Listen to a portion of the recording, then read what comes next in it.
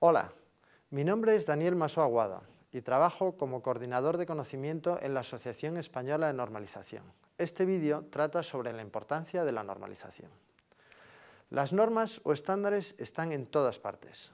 Aunque no seamos conscientes de su presencia, contribuyen a hacernos la vida mucho más fácil. En la imagen vemos una tarjeta de crédito que se acepta en cualquier cajero gracias a las normas que regulan sus características físicas, entre otras. Por el contrario, la ausencia de una norma suele suponer un engorro bastante evidente.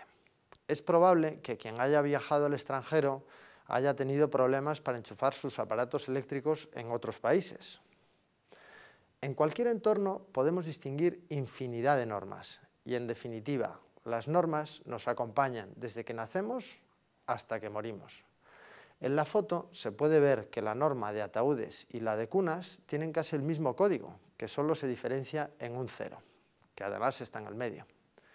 Consideraciones filosóficas aparte, las normas abarcan infinidad de campos, y actualmente es difícilmente imaginable el desarrollo de cualquier sector sin la ayuda de normas.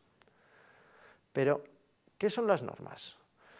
Pues nosotros nos referimos únicamente a lo que se suele conocer como normas o estándares formales, que son unos documentos con las siguientes características. Son voluntarias, eso es fundamental, y se hacen impulsadas por sectores son accesibles al público, de modo que cualquier persona las puede comprar o consultar. Se elaboran por consenso. Esta es una palabra que para nosotros es mágica. Consenso es ponerse de acuerdo entre todas las partes interesadas.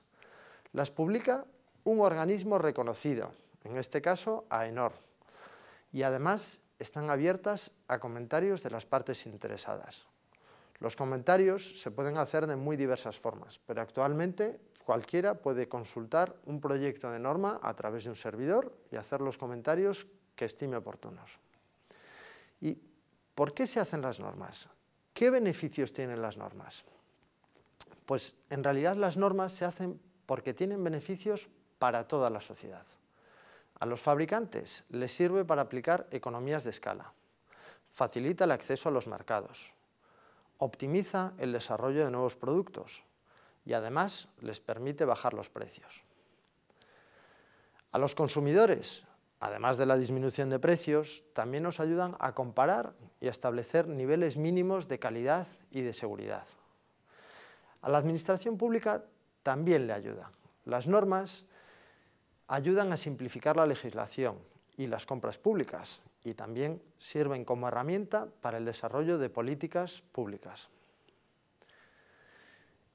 El impacto económico de la normalización es enorme. Hay estudios del Departamento de Comercio de Estados Unidos de América que dicen que las normas están detrás de más del 80% del comercio mundial. Además de eso, se han hecho estudios que señalan que las normas impactan en un 1% del PIB en países como Alemania, Francia, Reino Unido o el nuestro, España. ¿Y quién hace las normas? Pues las normas las hacen, se hacen en organismos de normalización, que suelen ser asociaciones privadas, que además están reguladas por la legislación y además integran a representantes de industria, consumidores y administración. Hay organismos nacionales. A su vez, estos organismos nacionales se agrupan o se integran en organismos regionales y a su vez se integran en otros más grandes internacionales. Los más conocidos en Europa son el Comité Europeo de Normalización, que llamamos CEN, su equivalente electrotécnico, el Comité Europeo de Normalización Electrotécnico, que llamamos CENELEC, y su equivalente en telecomunicaciones, que se llama ETSI. Sus análogos internacionales se llaman ISO, IEC e ITU. Curiosamente, el más antiguo es ITU, que acaba de cumplir 150 años, es el de telecomunicaciones. Por último, las normas se desarrollan en comités técnicos.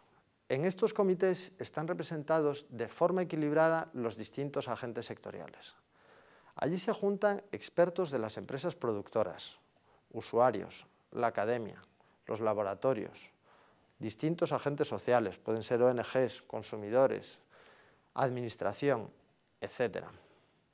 Actualmente hay miles de expertos trabajando en el desarrollo de normas en todo el mundo. Solamente en España la red de expertos que elabora normas supera los 11.000 los 11 expertos. Como conclusión, la normalización es una herramienta que es muy versátil y tremendamente útil para toda la sociedad. Anímense a participar en las normas. Gracias.